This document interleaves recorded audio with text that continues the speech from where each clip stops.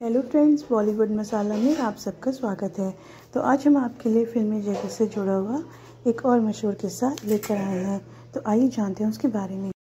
आखिर क्यों शम्मी कपूर और गीता पाले की शादी में कोई नहीं आया और उनके पिता ने किस चीज़ से कर दिया था साफ़ मना? आप सभी जानते हैं कि कपूर परिवार का बॉलीवुड में बहुत बड़ा योगदान है। लेकिन पृथ्वीराज चौहान चाहते थे कि उनके बेटे किसी भी अभिनेत्री से शादी ना करें। उन्होंने अपने बेटों को सख्त हिदायत दी हुई थी कि कोई भी अभिनेत्री उनके परिवार की बहू नहीं बन सकती। लेकिन शम्मी कपूर अभिनेत्री के प्यार में पड़ चुके थे। दरअसल, हम सभी जानते हैं कि पृथ्वीराज चौहान नहीं चाहते थे कि उनके घर की कोई बेटी फ़िल्मों में काम करे या कोई भी अभिनेत्री उनके परिवार की बहू बने।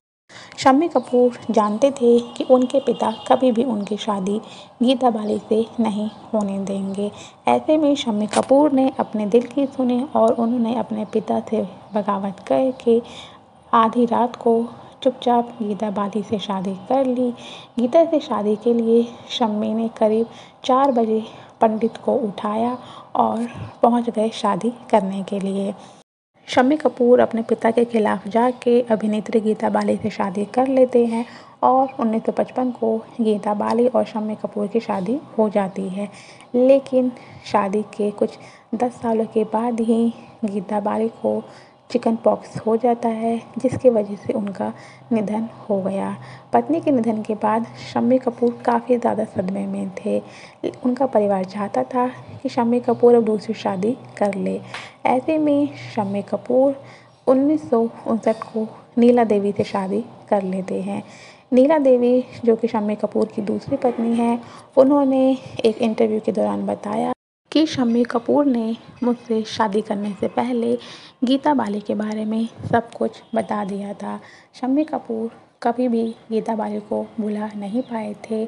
उनका रिश्ता दस सालों तक चला, लेकिन अचानक उनकी मृत्यु हो जाने की वजह से शम्मी कपूर को बहुत बड़ा सदमा लगा था, जिसके बाद वो अपने भाई राज कपूर के साथ छः महीने तक रहने लगे थे, जहाँ राज कपूर की पत्नी कृष्णा ने उनकी देखभाल की थी।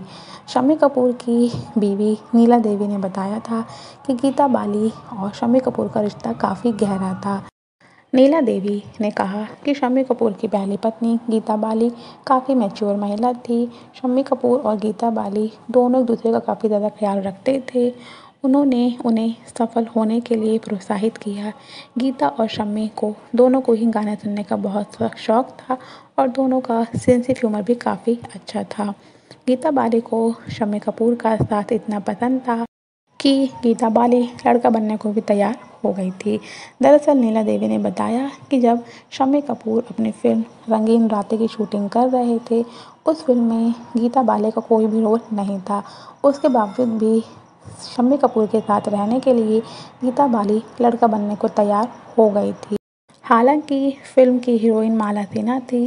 इसके बावजूद भी इस फ़िल्म से ही शम्मी कपूर और गीता बाली का अफेयर शुरू हो गया और दोनों ने शादी के लिए एक दूसरे को प्रपोज किया और आधी रात को दोनों ने शादी कर ली थी। नीला देवी ने कहा कि शम्मी कपूर गीता बाली की याद में हर साल एक जनवरी से लेकर इक्कीस जनवरी के बीच शराब को हाथ तक नहीं लगाते हैं, क्योंकि इसी तारीख को बीमार हुई थी और इक्कीस तारीख को गीता बाले का निधन हो गया था।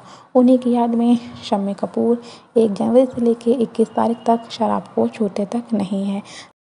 दोस्तों, ये थी हमारी आज की कहानी। मिलते हैं आपसे नेक्स्ट वीडियो में। कुछ नई कहानी के साथ। तक थैंक यू बाय